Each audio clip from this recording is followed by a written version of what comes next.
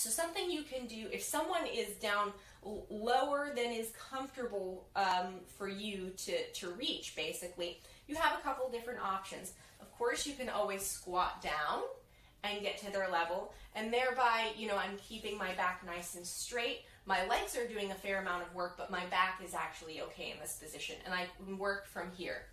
Another uh, potential option is, especially if you have to reach far over something, is to actually put one leg up onto the bed.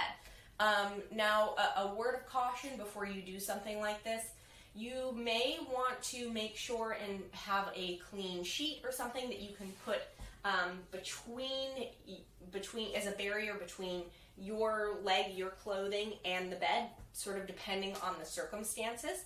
Um, so you'll have to kind of decide what is safe in terms of, of cleanliness um, uh, in that situation. But certainly, if you put a leg up on the bed, then you can see I can work here um, without having to bend far over there. Um, uh, so that's another uh, uh, tool that you can also use when you're helping someone in bed either to move themselves, um, to clean themselves, to dress themselves, um, etc.